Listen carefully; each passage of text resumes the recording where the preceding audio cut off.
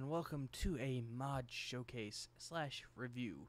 And today we are going to be taking a look at the Beta Days mod. Now this mod is fully configurable, so you can uh, kind of pick and choose what you uh, want to pull from and take, basically use aspects from the beta, from the Beta Days, as it says, and or Alpha. There are quite a few features in this mod. Uh, it has to be configured otherwise when you first load the game it's not going to do anything at all so. The uh, config file is pretty straightforward. It uh, disables combat changes the normal stuff like that to literally make it look and feel like the beta days of minecraft as it says. Now to add to the authenticity of this mod i uh, highly recommend that you actually use a resource pack so I uh, apparently currently am not, but anyway, let's uh, get into this.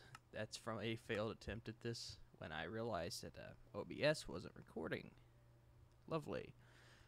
So we're just going to create a new world, uh, more world options, and we are going to create a buffet world because originally Minecraft only had uh, maybe a handful of biomes.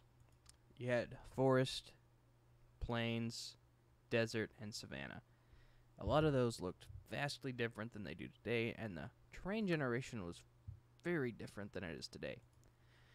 I actually kind of like it slightly better because it's so unpredictable. It makes for a fun game. But yeah. I honestly don't know what happened to it. Now, um, yeah, I didn't back in those days I wasn't playing Java Edition, so uh, I didn't really get to see any, any of it firsthand, but I saw videos. I played on Xbox Edition where the uh, terrain really wasn't that special, shall we say. I'm just gonna turn this all the way up so we can get the best experience or best FPS possible. Excuse me. And as you can see, I uh, adjusted the settings to make it feel like it would have back then. And as you can see, there are some things that are different, like uh, no hunger bar and uh, no experience bar. Because those were added in beta 1.8, which uh, was um, called the Adventure Update, I think. Yeah. So this makes it look and feel like it would have before beta 1.8. So,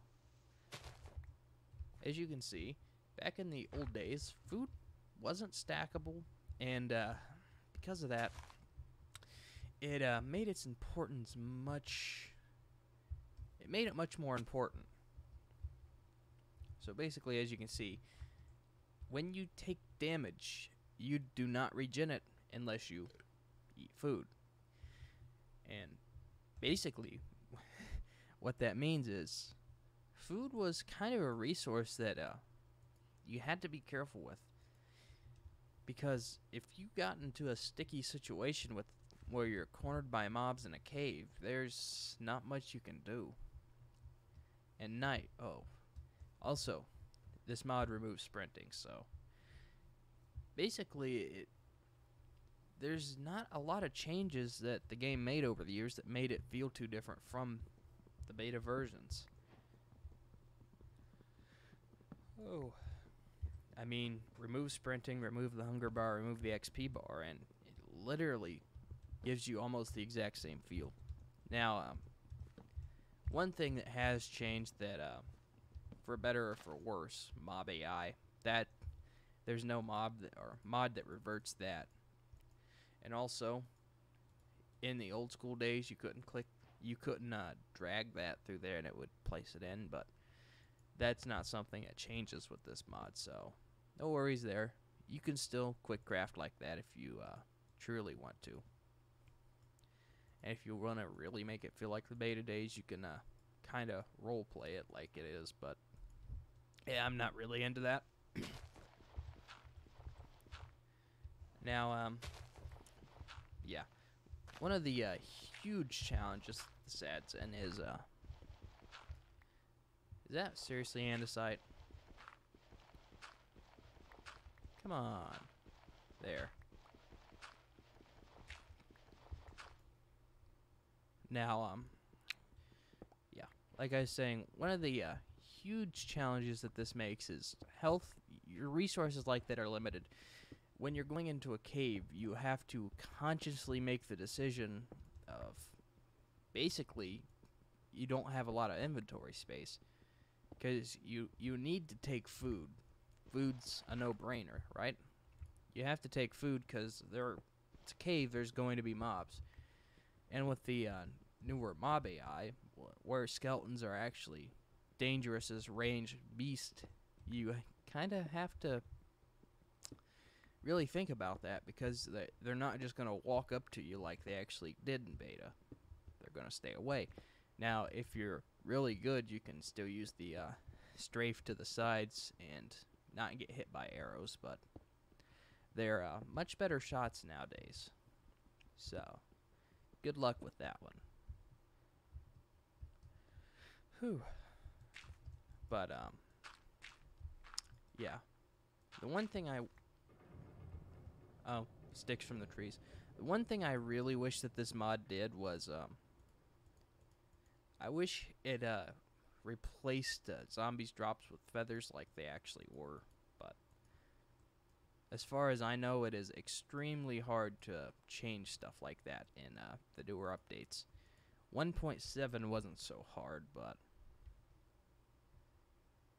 yeah, this this one kind of is. So I'm just gonna put that down in the hotbar.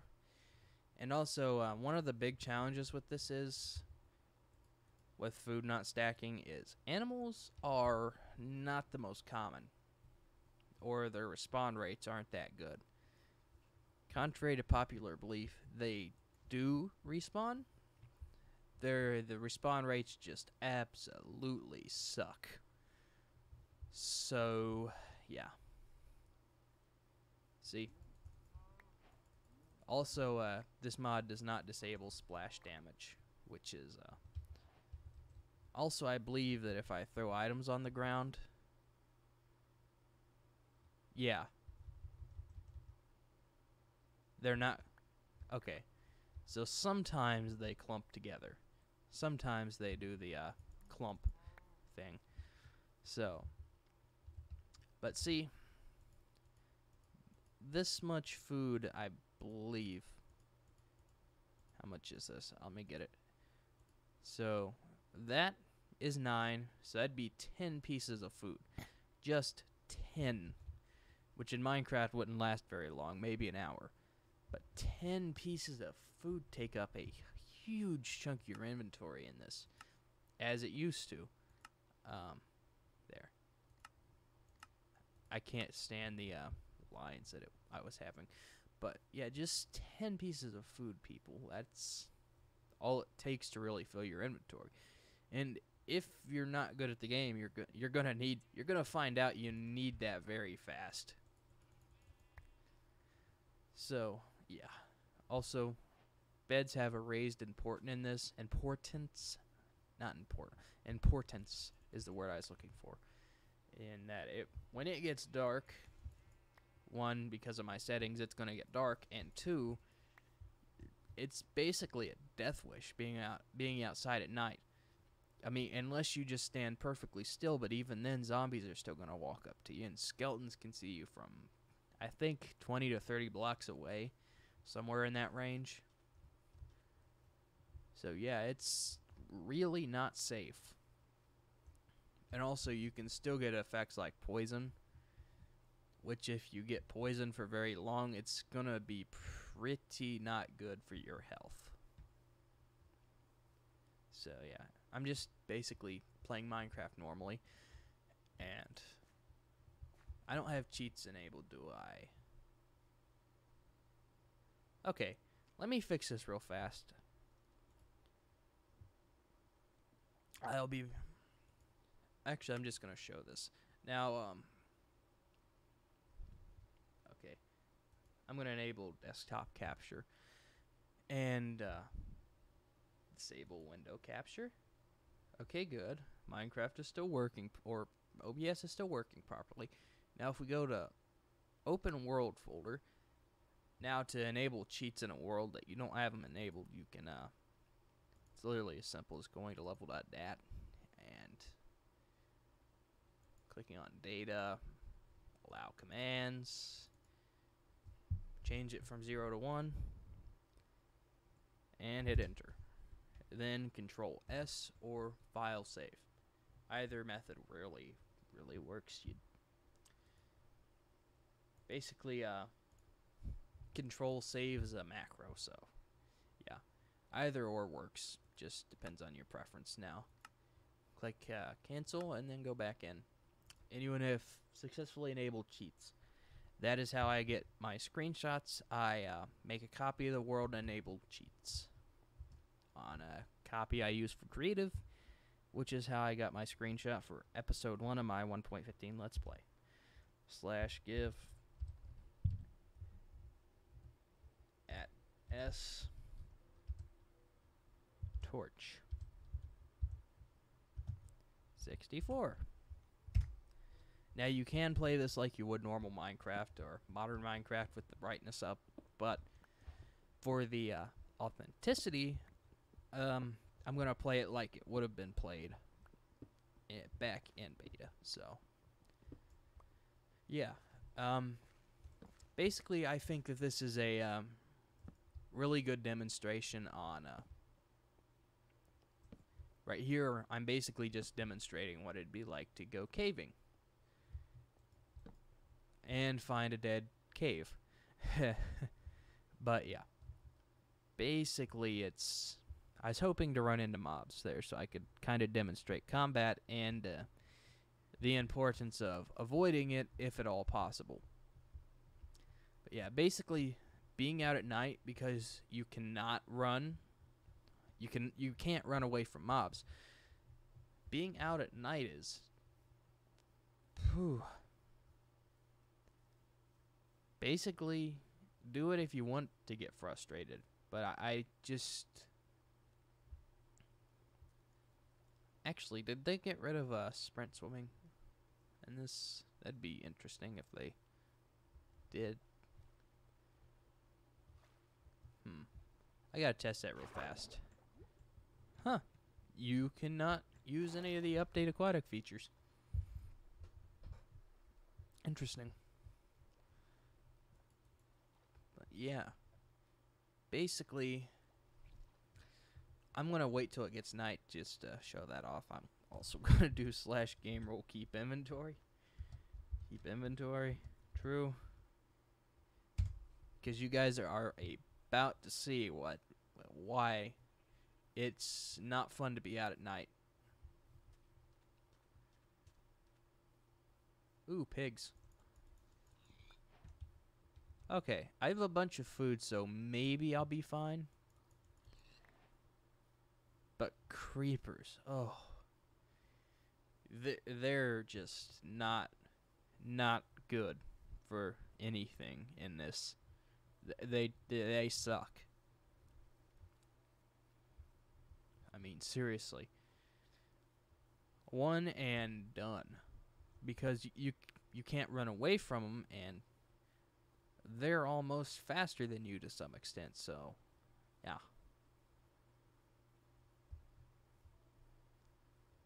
So yeah, it's uh, night. Now it'd be better if I just selected regular world so we could uh, get a plains biome, but oh, it's gonna be interesting anyway. Do I survive? Do I die? I've got my uh, my answer is probably not going to survive. Even with all the food in my inventory, the chance of me surviving this is not very high. Now, one thing I do like that they did in this, by the way, I'm placing torches, so uh, I know my path. But the one thing that they did do in this that I like is it is impossible to accidentally eat your food. which was an actual feature of beta. You could accidentally eat your food. Now, what difficulty am I on? Normal, okay. I haven't seen any mobs, which is unusual. Yep, there.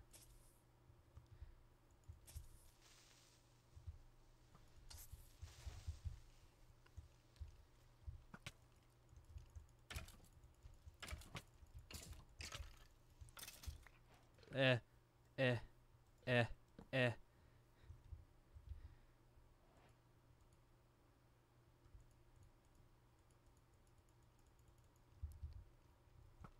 Oh.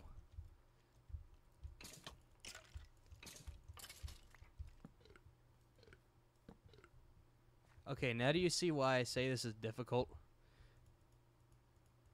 Because if you're not good at strafing, which I am not, now um, throw zombies into the mix, and yeah. Oh crap! Oh crap! No. No. No. uh. Uh.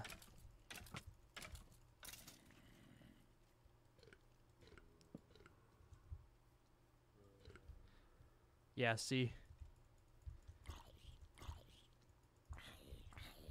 Now, the good thing here is uh, zombies drop rotten flesh sometimes, which can be used as food, albeit not very good food, but.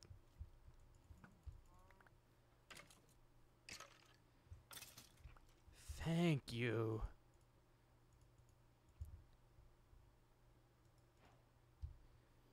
Where's the other wolf?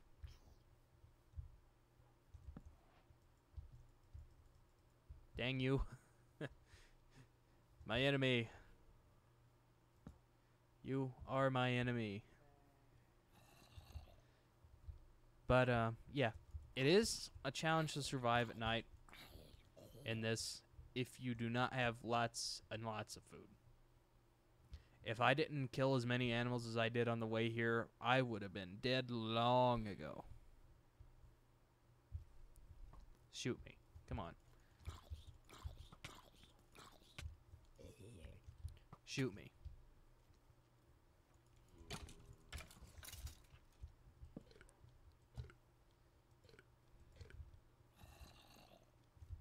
Whoa.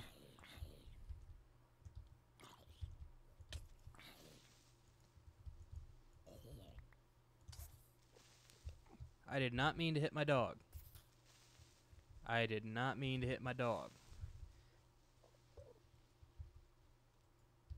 Uh, I put him in love mode. Oops. So basically, if you want to survive the night, you're going to have to have food and kill anything and everything. And that there's my golden ticket string. Cuz that that would be enough to craft a fishing rod and you could just hunker down and fish all night and get food. Yeah. Basically this makes modern Minecraft and I'm not even on hard mode and I've almost died so many times. This makes modern Minecraft hard mode and hardcore mode for that matter look easy. So, yeah. I think I've made my point. Survival in this is pretty I'm not to lie, this is easy but only because I have been I've played it. I've been playing it quite a bit like for the last 2 days so I could uh do this review, so I even have a mod pack that I might do a let's play on. Hey Wolfie. Hey Wolfie. Sit. Stay here and you'll be safe. Go down there and I can't guarantee. Let's break that. Okay. But yeah, I think I've made my point. This is um difficult if you are good at Minecraft or just want to do something stupid go ahead and go uh, download this mod. It can be found on CurseForge, but of course I'll put the link in the description. So yeah. If you really want to try a challenge, this mod or mod mod, put this mod on hard mode. yeah, there you go. Go nuts. Uh, anyway, I have been ConfinedTwo 68.1. I will see you in the next video or live stream. Peace out, guys.